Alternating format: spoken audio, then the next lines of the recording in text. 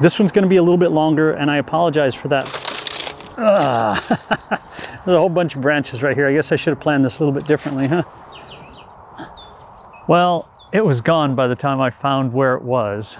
JonnyPink, this is, check this out. This is an 800 millimeter f11 lens. I have been, it has been suggested to me to try it for a long time. And even in the last video that I'll list up here, I, I've never wanted to try it because it is an f11. It's a slow lens. I like, as I said in the last one, I like a fast lens, as fast as I can possibly afford. Your photos, when you have a lower ISO, are better. They're cleaner. What I'm noticing using this one for the very first time, and this is a rented lens, is that my ISOs are shooting way up there. I'm shooting at 5,000, 6,000, 8,000 ISO, which is higher than I would want to shoot, but I'm shooting it on the R5. I'm not too worried about it. It won't be super clean, but I'm gonna see what I can get. Sorry, I had a little bug in my nose. It's facing away from me. So at least for the next couple of days, I'm gonna be shooting this. I'm gonna reserve any kind of comments on it other than saying so far what I have seen is the ISO shoots way up there. But I knew that. I'm gonna see what I can get out around the water. As you can see, it is cold, it is gray, so my light is flat. I don't have much. This would be a fantastic lens in bright direct sunlight. So I am going to shoot later in the day, tomorrow morning. I think I'm, uh, I'm going to see what I can get. So I'm going to hold off on any kind of comment. And before I return it, because it is a rental or a hired lens, I will give you guys my thoughts on it. More than anything, man, it's an inexpensive lens and it's got lots of reach, which is really, really cool. So I think I'm going to wander this way and go hit the water go around the lake and see what I can find. I'll see you guys in a little bit. Let's look at some photos while I'm looking. that was a hummingbird. All right, we'll see you.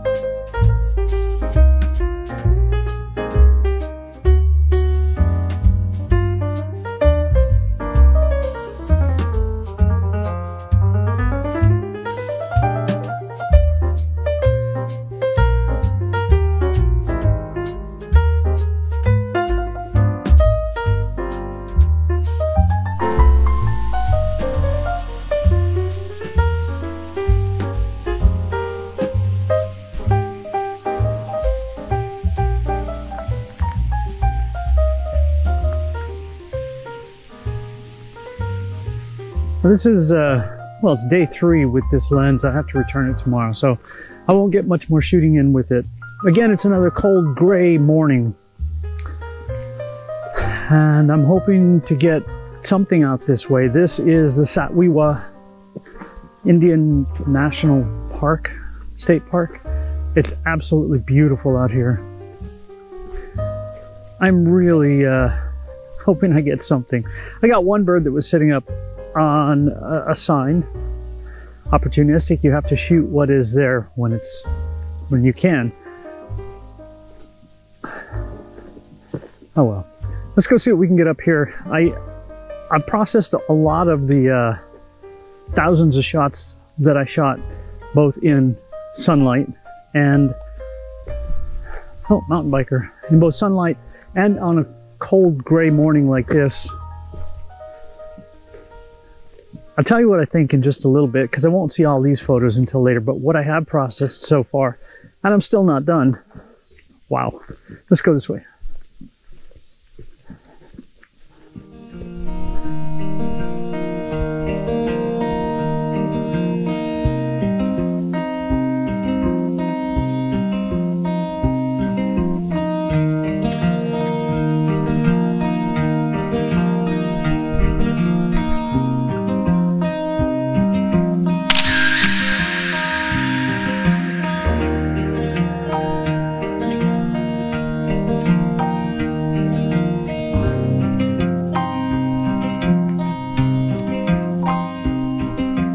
It is so incredibly quiet and beautiful here. I'm not seeing as much as we did the last time. I have not seen any hummingbirds at all here.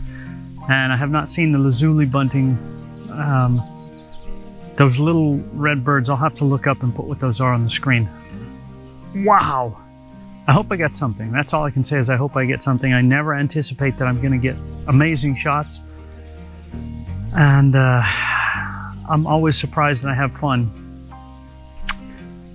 I'm gonna wander back towards my car and go hit another area and see if I can't get some more shots. And I might go out this evening too.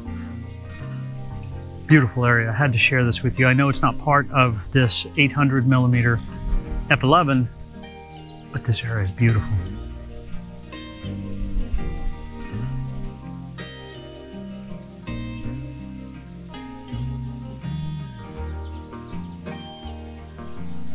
So while I'm walking back to the car to go shoot at another location, see if I can find anything else, let's talk about a few disadvantages to this lens. The f11 is the biggest thing, so on the R5 it's not a problem because you can handle the high ISO. If you have super bright sunlight, you can shoot it on the R7, which is an amazing camera with all the same features as the R5, other than it doesn't shoot 8K. And uh, that one you're shooting at 1280 millimeters straight out of the camera. So if you have bright sunlight and you keep your ISO, ISO low, you have a lot of reach. And for wildlife, for me, what I want is reach. I want a fast shutter speed so I can freeze the motion, but with this F11, it does push the ISO up rather high. The JPEGs coming out of both cameras when it's processed in the camera look really, really good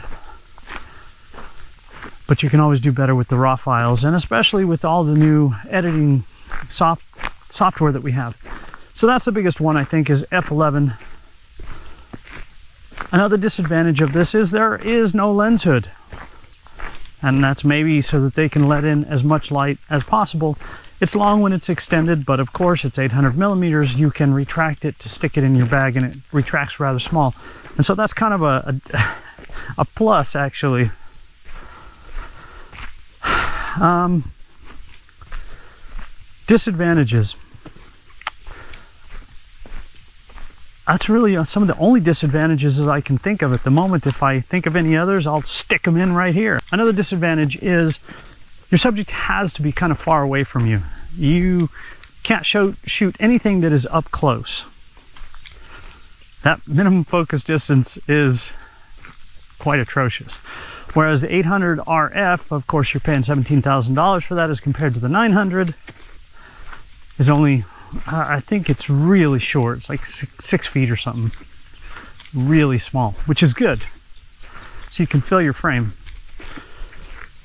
So on the R5, I think that this 800 millimeter works way better than it will on the R7, just because of the high ISO that you need to make your photos look good. So, and that takes me to another advantage of this one, which is the price. This thing is only $900 and it'll probably go on sale around Black Friday, some of the Christmas sales, anything like that. So another win-win for this camera as or this lens as far as the price goes. It's super lightweight and you can walk for a really long time with it.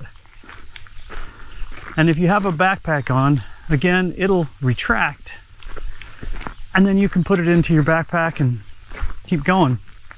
Doesn't take up much more space than uh, a little bit more than the 100 EF with a telly on the back. Awesome. This thing is ungodly sharp. And one thing that this particular lens has taught me is that the RF glass is so much better. I was not impressed with the 100 to 400. It's just too slow as compared to the older 100 to 400, which is an EF mount. This 800 is so fast to focus. It is so sharp. And because you have so much distance, you can still get some really nice background compression. And then using software and filters, you can smooth that out even more.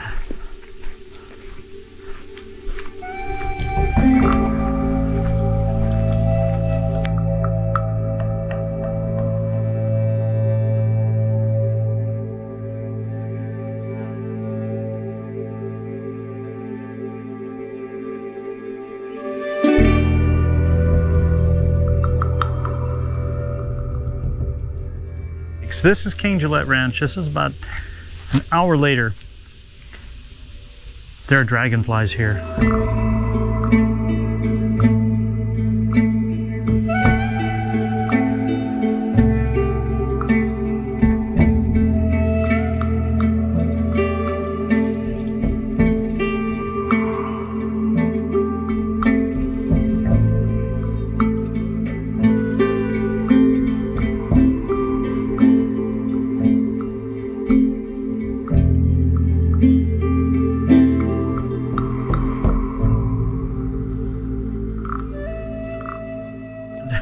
This is kind of where an F11 actually is an advantage because you have such a greater depth of field. The eye autofocus, which is what we're paying for on all these new cameras, right? The eye autofocus on this is so amazing that it just picks up and it locks right onto these things. It's, it's actually mind-blowing, the technology that we have available, you know, that we have available at our fingertips these days. And I was listening to someone talk about how the camera, you know, it, it does everything for us. Well, that's what we're paying for now. If you can go out and take a great photo, anyway, that's that's what we're paying for these days, is the technology in these cameras. That's why you're buying them. Otherwise, you can pick up an old DSLR that'll do the exact same thing for 200 bucks and call it done. Why do you need this new stuff? Why do you get excited about it? But that's what this, this stuff does. Now, I don't think Sony has anything in the price range of the R7 for wildlife. And the reason I like that is because of the crop factor. It's lossless, it's, so it's better than using a teleconverter. And you have that large megapixel sensor, which is something I like. That's why I never liked the D500. I thought the megapixel crippled it, the, the small sensor crippled it. So it, for me, it didn't work. I'm hoping for some hawks, but Anyway, everyone's got different preferences on what they want and, and, and what works for them. I'm gonna come back out here, not today, but at some point, with a different lens that I can zoom in and out so I can get my dragonflies. There are dragonflies here and that's so exciting. I haven't seen any except for I think one at Sepulveda where they were last year. Wander a little bit more. And of course the little baby ducks, those are so cute. They're not babies anymore, they're getting pretty big. This way.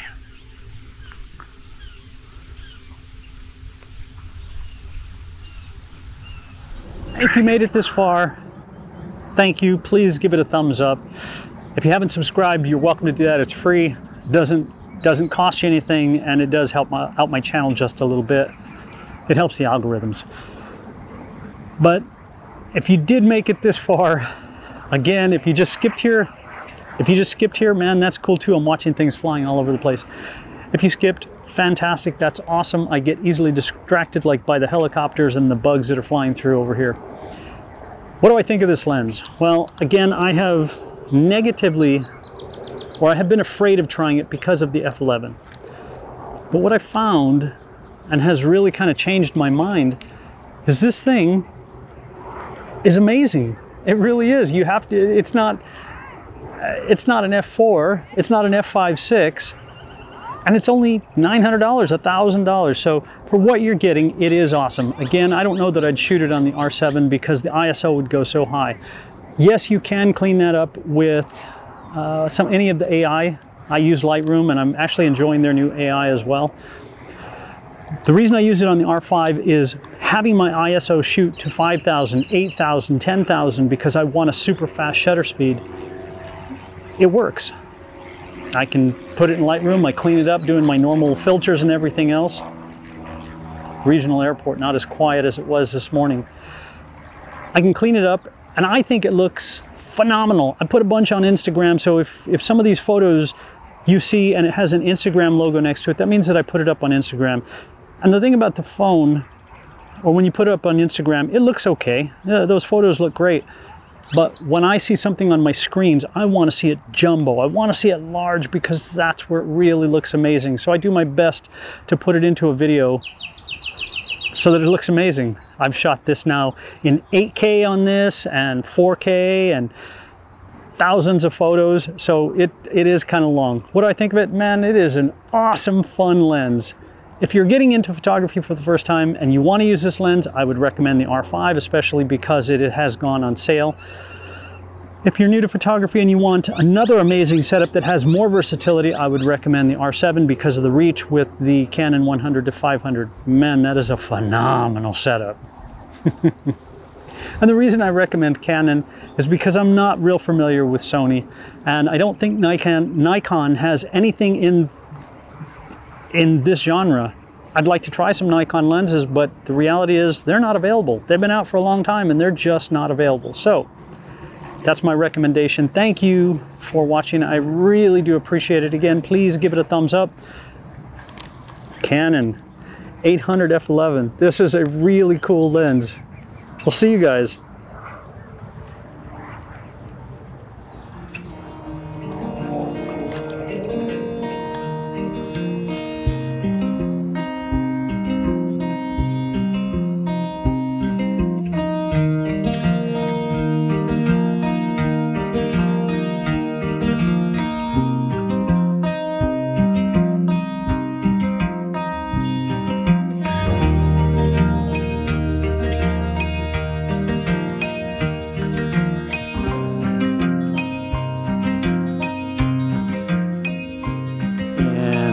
Bright sunlight like this, afternoon, morning, anyway, let me show you these photos.